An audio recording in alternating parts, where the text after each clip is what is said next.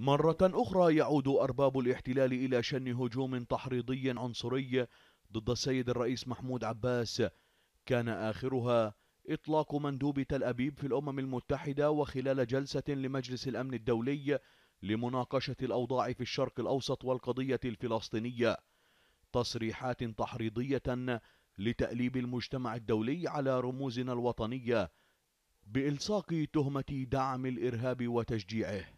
لا يزال الفلسطينيون يكرهوننا أكثر من حبهم لأبنائهم ولم يعتمدوا هذا النهج بعد. أثناء زيارة الرئيس بايدن الرئيس عباس كذب مرة أخرى عندما أعلن أن السلطات الإسرائيلية أو السلطات فلسطينية تعهدت بنبذ العنف وهذا أبعد ما يكون عن الحقيقة. الرئيس عباس آه، لا يمول الهجمات الإرهابية ويشيد بها فقط ولكنه يحرض عليها وأعضاء من آه، حزبه يرتكبها. حان الوقت لهذا المجلس للتصدي لثقافة الكراهية التي تروج لها السلطة الفلسطينية على مدار عقود.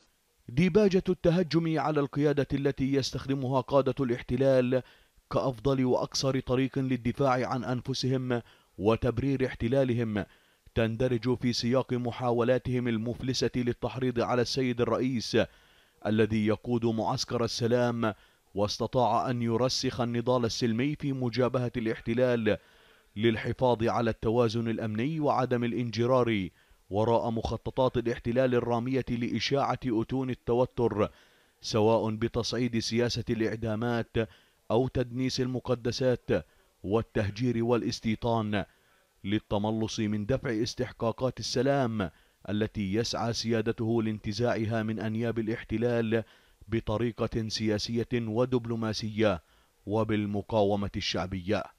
عزف الاحتلال على أوتار التحريض ضد سيادة الرئيس المتمسك بالثوابت الوطنية والرافض التفريط قيد أنملة بالحقوق الوطنية رغم محاولات الاحتلال المتكررة ابتزازه سياسيا وماليا أعاد للأذهان ذات السياسة الراديكالية التي مارستها حكومة الاحتلال آنذاك بحق رفيق دربه الشهيد الخالد ياسر عرفات عندما رفض التوقيع على اتفاق كام ديفيد ودفع حياته ثمنا سياسيا فما أشبه اليوم بالأمس. وبرغم الحصار الظالم الذي يستهدف قرارنا الوطني.